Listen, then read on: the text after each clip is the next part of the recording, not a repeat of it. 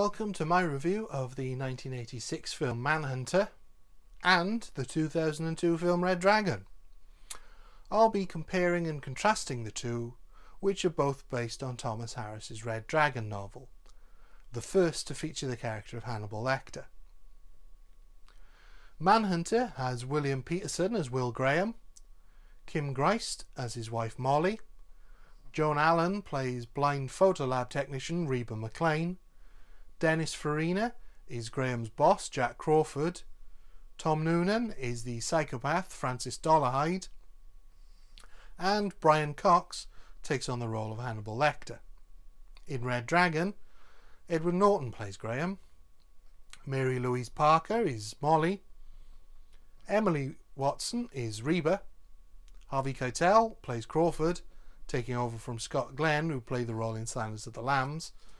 Francis Dolarhyde is played by Ralph Fiennes, and Anthony Hopkins returns to play Lecter for the third and final time, after playing him in Silence of the Lambs and Hannibal previously.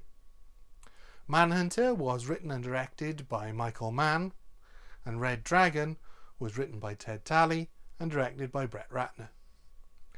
Because this is a comparison review, there will be spoilers from the start. So if you don't want to know what happens in either film, go and watch them first. So I haven't read the book, but from what I understand, the 2002 adaptation skews much closer to the book than Manhunter does.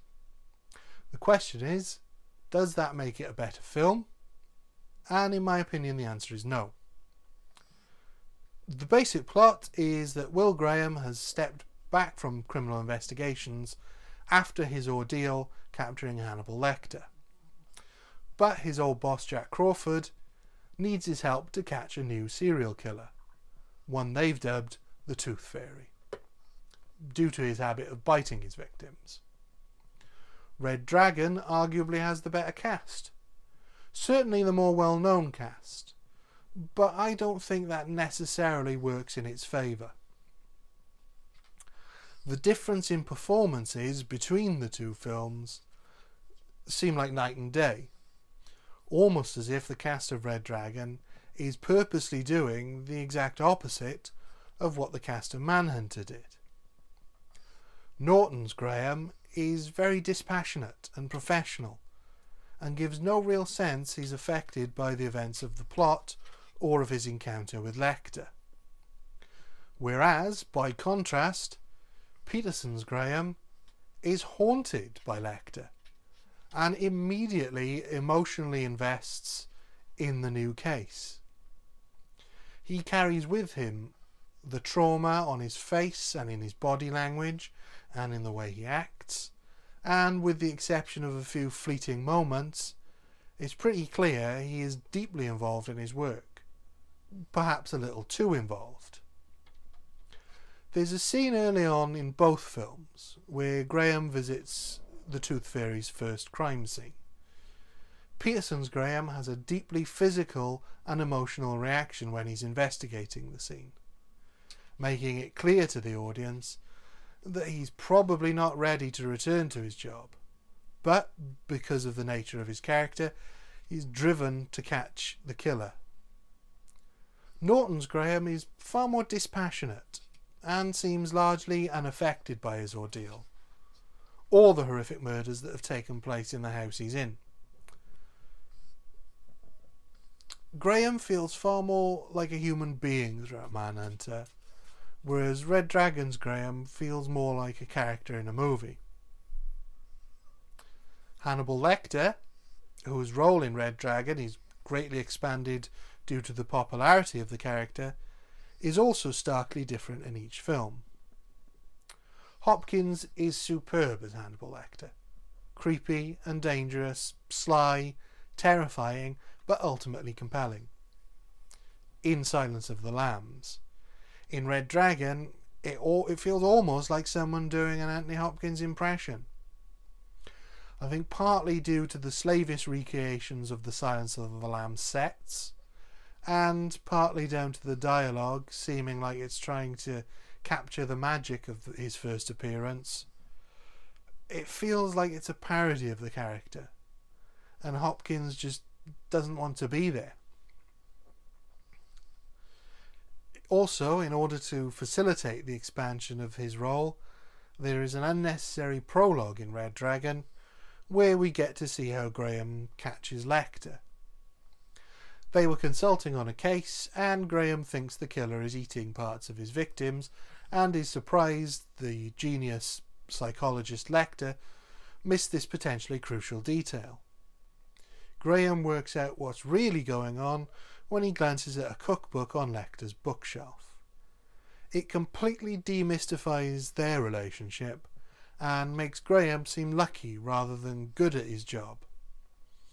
In Manhunter, their entire encounter is left to our imagination, which I think works so much better when in both films, when we first see Graham go to visit Lecter in prison, he tells Lecter he didn't catch him because he's smarter than him, but rather because he had an advantage, because Lecter is completely insane this line doesn't really work in Red Dragon because we know exactly what happened.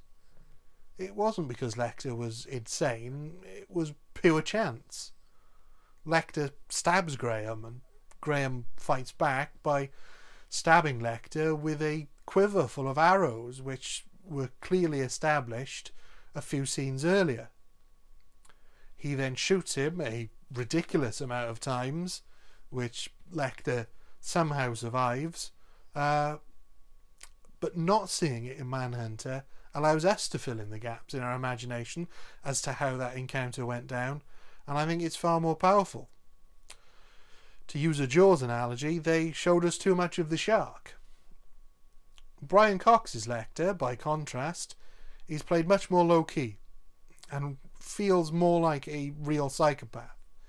He's charming but unspectacular.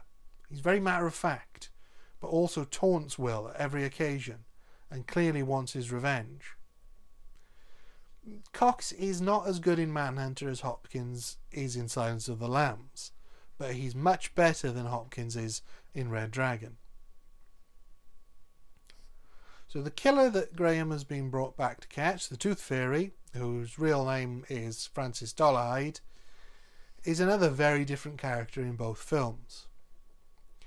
In Manhunter, Tom Noonan is an odd looking, tall, skinny, gangly creature with wild hair and a cold intensity that is frightening when he's in killer mode. We first see him with a stocking covering the top half of his head as he terrorizes his victim, and it's pretty disturbing. We have to be introduced to him in this way, as if we saw him in his everyday life first it would be pretty clear he's the killer. However, when we do see him acting normally, when he's at work, we can understand how no one would suspect he's a psychopath. Because despite his unusual appearance, he's a perfectly normal, if somewhat slightly shy man. He asks his colleague Reba on a date when she loses her ride home, and she says yes because he seems nice and because she's blind, she doesn't judge him on his appearance. There's a certain amount of tension because we know he's a psychopath. But the more time they spend together, the more it seems she may actually curb his psychotic tendencies. In his way, he falls in love with her. Uh, he even weeps when they have sex because he knows what he's done is wrong but can't take it back. Eventually, his true nature does come through, which we know will happen, but the tension comes from not knowing exactly when that's going to happen.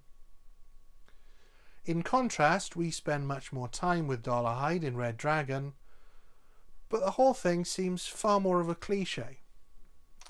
His appearance is that of a handsome man. He looks like Ralph Fiennes with a small scar on his lip, which, due to a childhood of torture by his mother, he thinks makes him look hideous.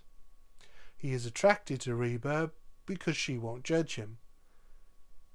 But she knows he's handsome, because colleagues at work have told her repeatedly, apparently, and she tells him that. It means that the reason for her blindness is, entirely down to a plot convenience rather than any character building. He also acts and speaks like a complete psychopath the whole time. Ride with me. For my pleasure. This would leave no one who's met him with any doubt that he's dangerous, and feels very unlikely that Reba would be interested in dating him. Apart from the fact that she also acts and speaks like a psychopath. It's a really odd choice by Emily Watson to play the character so strangely. They ask me if you are as strong as you look. Joan Allen plays the role as if she's a normal person, falling in love with a guy who she likes um, because she likes the sound of him. Watson makes it seem like she might, in fact, be into the fact that Dolarhyde kills people. She's oddly sexually aggressive, has a way of speaking that makes her seem like there's a subtext behind everything she says, and regularly has some kind of lethal weapon to hand. It's actually a bit of a surprise when she turns out to be horrified by the revelation of who he really is. I understand this version of Dolarhyde is closer to the book, but I don't think it works for the modern audience. He's a checklist of builder psycho tropes, from a mother who tortured him, to hearing voices, to paranoia and an obsession that reaches its peak when he steals a painting from a museum and eats it. A truly out of place scene that is more likely to elicit laughs. He's also far more calculating.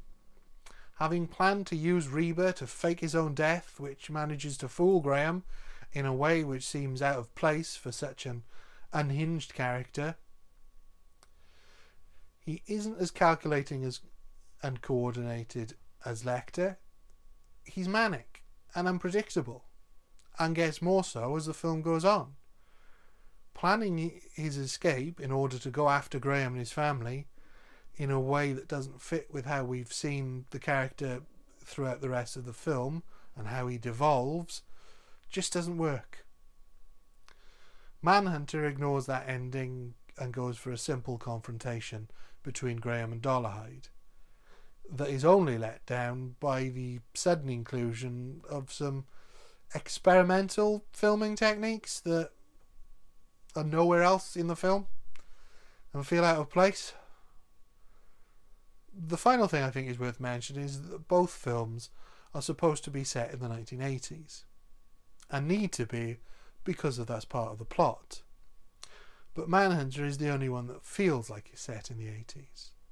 I mean, obviously, it helps that it was actually made in the 1980s, but even so, there isn't really an element of Red Dragon that feels like it's set in the 80s.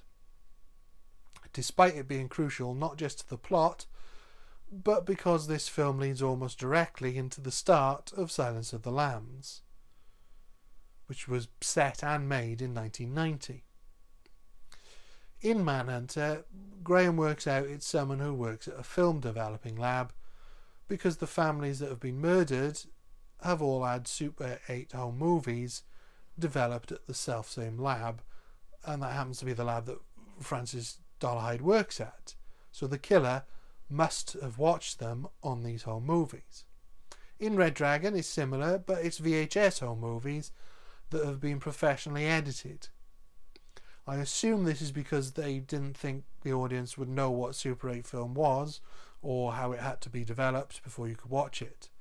Of course, now VHS looks as dated as Super 8 film, but even so, I'm not sure if professionally edited VHS home movies were ever even a thing.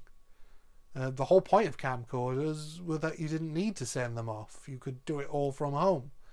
And if you wanted to edit them, you could do it yourself, even if you did over rely on star wipes. There are other wipes besides star wipes. If it were made today, you would have to completely rewrite this plot device. And it would have made sense to do that in 2002, rather than change it slightly as to not really make sense. Other than that, there's no sense that this isn't a contemporary film. which is just a bit confusing. home video. A, a full length VHS tape compiled from shorter tapes. In conclusion, Red Dragon isn't an awful film, it's just below average.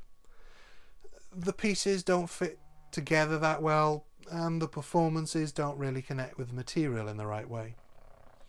It deserves a more talented director and a better script, one that isn't so precious to the source material and can more seamlessly fit the additional Lecter scenes into the overall plot. Manhunter isn't perfect either. It's a little rushed, and some of it looks a little dated, but everything is handled better. And the ending is far more refreshing than Red Dragon, which, because it's so different to how thrillers typically end, it seems more original. It's funny that Manhunter is subverting a trope that didn't exist when it was made, while Red Dragon fully commits to a cliche that was already well established because it sticks to the source material. I think Manhunter works better as a prequel to Silence of the Lambs too. It's a better standalone film and is a better crafted film. It's definitely nothing but the best for me. But is Red Dragon nothing but the worst? Yes because Brett Ratner is a scumbag. Thank you. Goodbye.